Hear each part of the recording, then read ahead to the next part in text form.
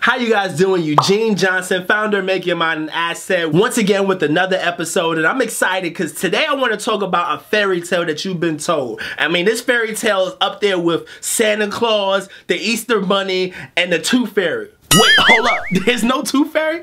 No, and it's another fairy tale that's been told to you. And here's the fairy tale that's been told to you when it comes to success. The fairy tale is you need to find a work-life balance.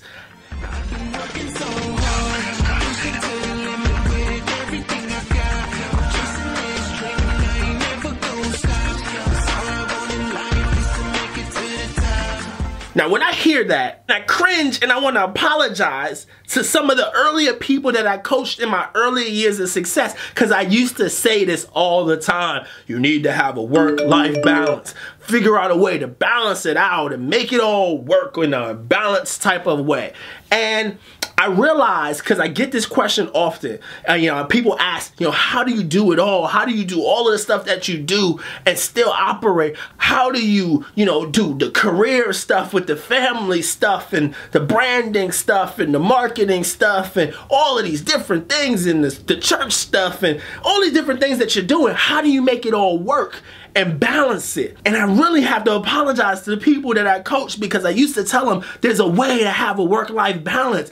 And what I realized in my experience, at the time I was so naive because I didn't have a lot to balance. So it might have been a little bit easier because I was younger. I got started my first business when I was 18. So I didn't have a family. I didn't have kids. I didn't have, I didn't understand this whole balance thing. I might have understood it psychologically. I might have understood the principles of it, but you don't really understand until you're in it. And when I became a person that was in it, I realized that there's no such thing as work-life balance. What there is is something that you need to create which is called work-life harmony or work, family, friends, social, whatever you want to put in that bubble, harmony. You want to find some type of harmony that flows because you'll never have balance. Sometimes in your career, there's a lot of things happening that makes your social life go down a little bit. And sometimes there's some stuff in your social life, like you're on vacation, that your career life goes down a little bit. And then sometimes you're, you know, with the family and dealing with the family issue, and that family takes precedence in that scenario, and all of those other things get pushed to the side. I mean, there's literally so many things that we're juggling and we're trying to have them all balanced on one scale. But the problem is that's not possible. Having them balanced all in one scale is like having an orchestra where every single instrument plays the exact same note at the exact same time. See, this is not, not only is this almost impossible, it can be done, but doesn't even sound good when it is done. Nobody wants to hear the same note. The thing that makes orchestras great is because the violin is playing these beautiful notes. And then the bass comes behind it and is playing some amazing notes that fit in with the violin. And the piano's coming behind it with these chords that they're playing that make the that bring the emotion to the song. And then the saxophone is coming in with that smoothness and bring like all of these things are playing in harmony and the singer is singing in harmony. Everybody's not doing the same note. So sometimes you hear a lot of piano, but then other times you hear a lot of bass, and other times the violins take over, and then the bass takes over, and all of these different things are playing in harmony, but those harmonies come together to make beautiful music. And that's what you need to do with your life. You gotta have everything moving in harmony to make beautiful music in your life. So they'll never be 100% aligned. You'll never have 100% of your time because look, we only have 24 hours in a day. I mean, eight of those hours are spent sleeping. Or, you know, for some people, eight of those hours are spent sleeping. For the hustlers, you, the grinders, you might be sleeping four hours or five hours. But most of that time is spent sleeping. So then if you have like all of these different things that are important to you, how do you split up the time? And then some people are working. So if you're sleeping eight hours and you're working nine hours and that work is not a part of some of the things that you want to prioritize, that's half your day already taken up that you need to figure out the, how to do everything else in those little bit, bits of time doesn't allow you to make everything balanced. So most times people are trying to get a balanced situation that's almost impossible to happen. So here's what I urge is just figure out a way to get some harmony and some smoothness going with your life. And the way to do that is two things. The first thing is communication. You have to have high levels of communication with every single area of your life so that everybody knows what it is that you're trying to do, how you're trying to do it, what you're going after, why you're going after it, why it's important. All of these things have to be laid out and communicated communicated to everybody that's involved. If you have people that you work with, you need to communicate to them that sometimes you can't go out after work to have happy hour because you have the kids that you have to take care of, or you have these goals that you're trying to achieve, or you have this, uh, you know, people from your friends and family circle that you haven't spent much time with. So you want to make sure you have that. Look, it's so many things that you want to balance, but the communication is key. So now that people won't pressure you into doing something that you really don't want to do, and you don't end up going down a path of doing some other things when other things were a priority. And so many people do that. So many people start to do things out of pressure of somebody asking them because they're afraid to say no. They're afraid to say, no, I can't. I- am sorry. I'm not going to be able to. Look, I used to have that fear because I was a people pleaser. I wanted everybody to be happy. I wanted everybody to feel a level of, uh, uh of openness to me. I wanted everybody to like me. Then I realized everybody won't like you. There are people who don't like like you right now. And they're not gonna tell you that they don't like you. They're just gonna not like you. And for whatever reason, sometimes they have a reason. Sometimes I, I did a made a bonehead mistake and, and, they have a reason to not like me. And other times they don't like me for no reason, right?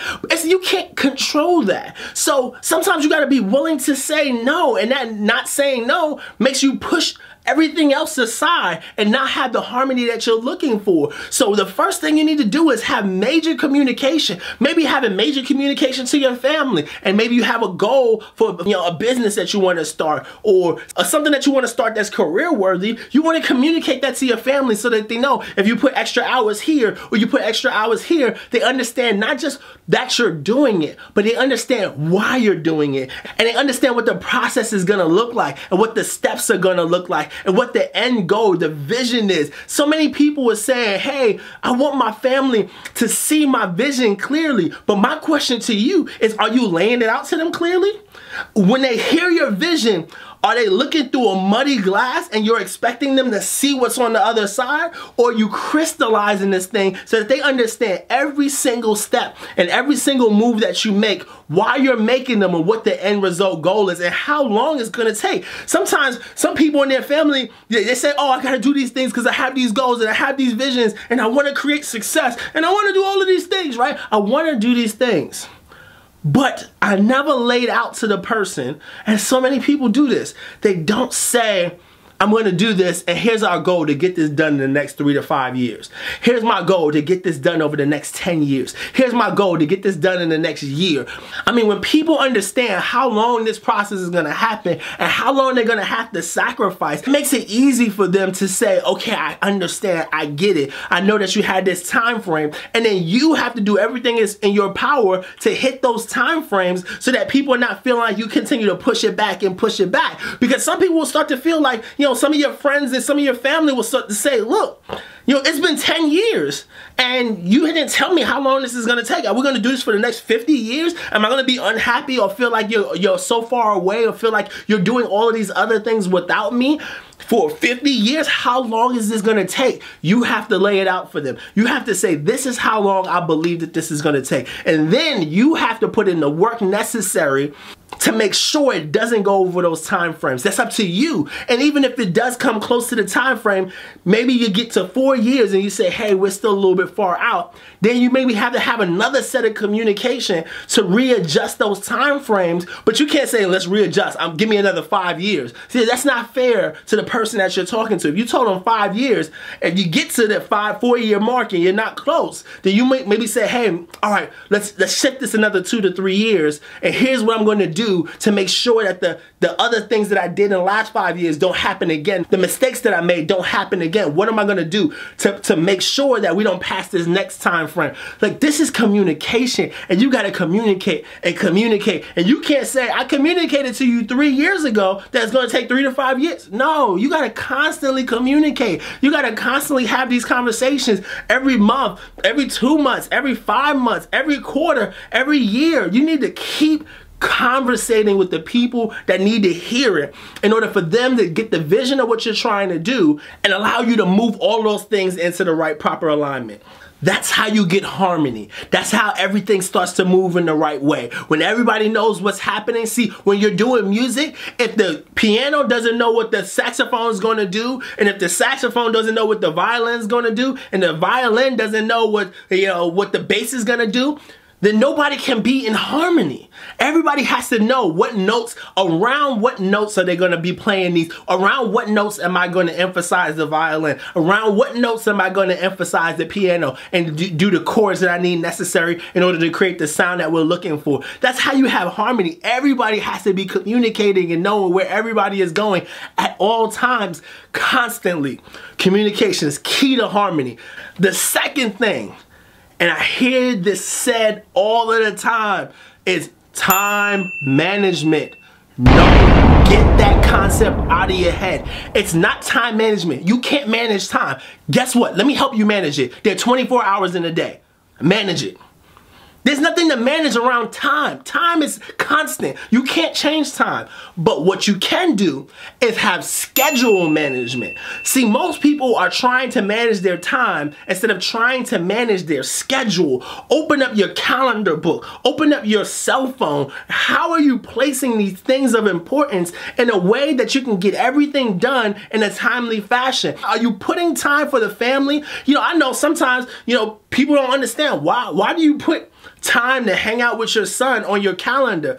It's not that I need to remember I need to hang out with my son. It's no, I'm being strategic in saying that this time, regardless of what's happening around me, this time is dedicated to time to hang out with my son. We're gonna do this and we're gonna hang out, we're gonna have a good time. This time is dedicated to time to hanging out with my wife. This time is dedicated to time to work my business. This time is dedicated to working at my job. This time is dedicated to working with my ministry. This time is dedicated to working with my friends and family and hanging out and having a social life. This time is dedicated to vacations. You've gotta be scheduling constantly, constantly managing your schedule on a day-to-day basis. The, the best way to do this is schedule out five years from now what your goals are, drop back a year, say what do you need to do this year to get to five-year goal, drop back to, you know, six months, what do you need to do six months to get to one-year goal, drop back three months, what do you need to do three months to get to the six-month goal, drop back one month, what do you need to do one month to get to the three-month goal, drop back one week, what do you need to Do one week to get to the one-month goal, then drop back a day, and what do you need to do today to get to your week goal? It's that simple. And then once you have that broken down, now you know what type of time to allocate on every day to make sure that your goals align long term. And that's all. And as long as you communicate that and you have that schedule and everybody knows that everybody is important, you have that harmony and you have that flow. And you don't have to think about, do I need to balance all of this out? Do I need to make sure I'm spending the same amount of time in my job and the same amount of time with my family and the same amount of time on my social life and the same amount of time on all of these different things that you have? You can't do that. So, when people ask me, how do you manage all of it? This is how I manage it. It's about understanding how much communication are you having? Communication is the key. Number one key is communication. And then it's about harmony. How do I harmonize this thing into my schedule and manage my schedule and stop focusing on trying to manage time, right? Manage your schedule. And if you manage your schedule that align with your goals and you communicate that to the people who care, then you will have the work life balance that people talk about, right? So I'm hoping that you take something from this and actually implement it into your life. I hope you're not listening and hearing all of these comments and insights and all of this stuff and not taking it and, and running with it and creating some success in your life. I'm hoping that you do, but either way, I appreciate you for taking the time to listen. If you haven't already, like, comment, share, make sure you subscribe. Why? Because somebody needs to hear this. There's somebody who's looking for a way to get the family in a harmony place. And this is a perfect opportunity for them to do that. So I appreciate you. Thank you for taking the time. And like always, remember, let no man steal your vision because no man gave it to you. God bless. Are the people around you stretching you to become better? Or are the people around you dragging you down? And if they're dragging you down, you've got to learn how to cut ties. You have to.